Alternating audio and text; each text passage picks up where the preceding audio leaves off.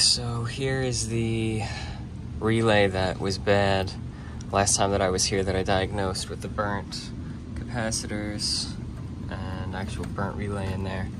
And we got a new one, so I'm gonna start pulling this one apart.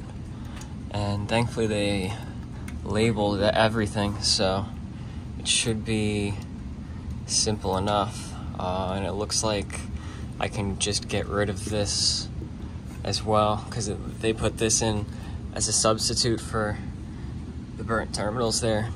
So it'll be a little bit neater by the time I'm done, hopefully. Okay, so here's the new control. Um, we got zone 5 wired up in there now. And primary pump, our power coming in, our end switch, and all of our thermostats. Really nice that everything was labeled. And we are good to go. Okay, so our new one is in. We verified that all our zone valves open. They make end switch. Now you can see we only have a few calling, a few zone valves open, and everything's working properly. Boiler's at temperature. We're circulating hot water throughout, and we are good to go. So I'm back in the massive house on the water and I'm in the master because he wasn't getting any heat here. But we have heat now.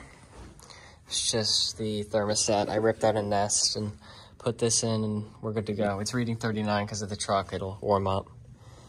But now we're getting heat to our radiators and we're good to go here. So I am headed now to a customer that I had put in the schedule for tomorrow. He called over the weekend. He has a 30 year old boiler. I think it's steam. And they've blown through like three or four transformers. They just keep replacing transformers. So something's wrong somewhere. I, I'm willing to wager it's the low water cutoff, but we'll see what happens there. Okay, so here's our boiler. This transformer they've been replacing because it keeps going bad. There's uh, some funky stuff going on here with the wiring, but trying to trace everything back to where it goes control-wise is a little bit rough because there's so many different thermostat wires coming in. But there were a few connections reversed based off of this diagram. I don't know if maybe it happened when the transformer was switched out um, or if we still have something going on that's causing the transformer to fry. It could be one of these controls, but it could also be that this would just went bad. They put in a new one, but they put it in wrong. So we're gonna see what happens. Okay, so to the funeral home. Yeah, we're headed out of the funeral home. Uh, we have a new gentleman working with us today. He started. Um, that call defeated me. Turn left onto I lost. Um, I couldn't get him heat today. There's a lot going on with the wiring, and wires aren't going to the right places. But a lot of the wiring, it's just it's too too much to trace out, and it's going to be a lot of time. And we don't know which controls work and don't work. Um, In half a mile, because transformers were being fried, it's, so it's possible, very possible, that we have an issue with our low water cutoff, maybe our auto feed, and then our gas controls are obsolete. So we're going to, rather than replace the boiler, because there's no real reason to do that, we're gonna come back with a steam trim kit and an ignition uh, control kit to completely convert it as if it were a new boiler. And it's nowhere near close to the price of replacing the boiler, so. We'll see how that goes when I'm back. Not this coming Wednesday, but next Wednesday, uh, because he's going to Florida. Okay, so uh, I'm here for no heat in the back room. It's a separate boiler. It's a big room. It's where they actually have the wake for people. And all the thermostat, all the radiator covers were like off completely. Um, but the thermostat is ancient. And I think that that could also be giving them some issue because it's not even reading the right room temperature. So we're going to replace the thermostat, but I think fixing the radiators is going to be a big majority of the resolution too because all the plates were just falling, blocking airflow. Now everything's mounted properly so cool air could go under and hot air could come up. But the boiler's like at temperature, it's very hot, so we're gonna do thermostat. So this is the room that we're in. And we put the thermostat on. And it's reading that because of the truck. It'll warm up. Already went up a degree. And then they'll have a consistently working thermostat. And these are all those baseboards where the covers were like on the ground, where the tops were closed. So we secured everything as best as we could. And you could feel the heat coming up through them. So we should be okay.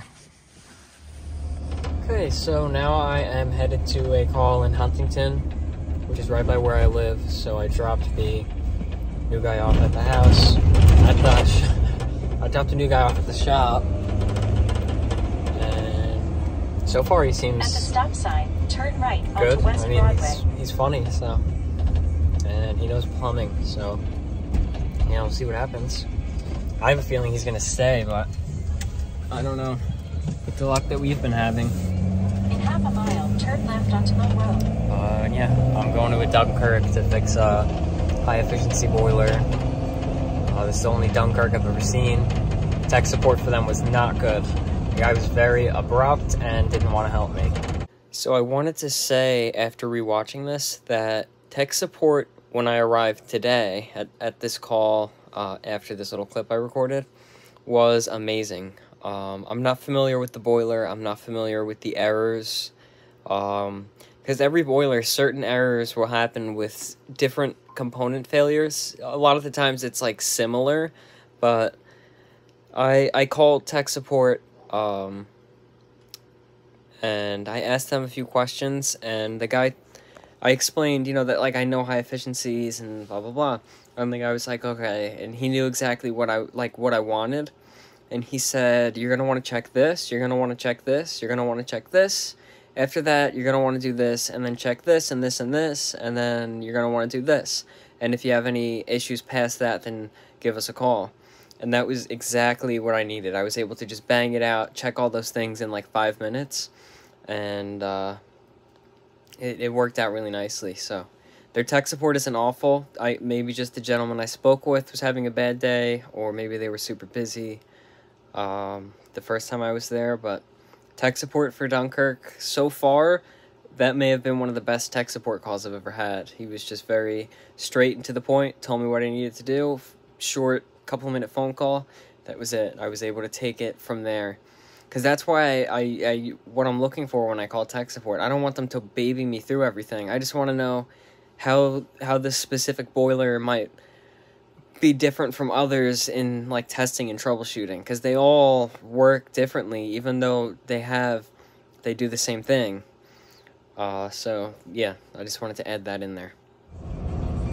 But I got a control board for it because it's the error is giving the power issue. There's no power issue. The power coming in is just where it needs to be. So it's 120 volts, 60 hertz, power to the Go past this line, light, then not power to the one, neutral, Turn left. power from line to neutral, power from line to ground. So we'll see what happens. Okay, so I just got our new control board in. When we took this one out, noticed a little bit of corrosion there, but there's a good bit more right here from water getting in. And that would have been what fried our control board. We're running, we're giving domestic hot water, and right now we're working on heat, rising the temperature. It's gonna take time because how cold the water is, and it's not gonna wanna heat it up all at once. It does a gradual temperature rise between supply and return. But um, when we did light, we got a little bit of a boom. Um, and then when I was pushing on this, it sounded like we were getting a noise from our blower, but it's not even touching the blower. So I don't know if that's going to be an issue, but it looks like we will probably have to adjust combustion, see what our incoming gas pressure is, and everything like that. So this brings me to my next point, which was again a good reason I had called tech support because I had comments saying it seems like you call tech support a lot and I do call tech support a lot. I call them when I have the availability to do that without wasting time, and when I have like real reason to call them. Um, because I would have, without calling tech support, because I don't, I'm not trained on this boiler. I would have tried to adjust screws on the gas valve in order to set our combustion. And after speaking with tech support, he told me that the combustion is actually done by the machine, like it's built into the control board.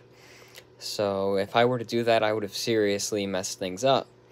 So I was glad that I spoke with them. Um, I did see reading through the manual uh, briefly prior to arriving uh, that you can adjust combustion like with the control board. But again, I, I'm not familiar with the equipment 100%. I don't see it often. This was the first time, so I call tech support to to learn. I don't call them to for them to walk me through everything. Uh, it seems like people might not be fully understanding that. Like, I'm not calling them because I don't know what to do. I'm calling them because I want to make sure that I'm doing it how they would want it to be done or how it needs to be done for this specific product. Because all these different manufacturers now are making all these different high efficiency boilers. They all like work differently. You have the tankless brand I can't say. You have Dunkirk. You have Weil-McLain. You have Burnham. You have Rinnai, You have um, Bosch. You have Buderus. You, there's countless brands out there, and everybody has different things that need to be done. So I was just glad that I called rather than trying to shoot for something and making the situation worse. Dunkirk DCC 150. And we got our plane. Okay, so I just pulled igniter, and I'm sure that this is not what it's supposed to look like. So I think that might be our main problem with booming at ignition.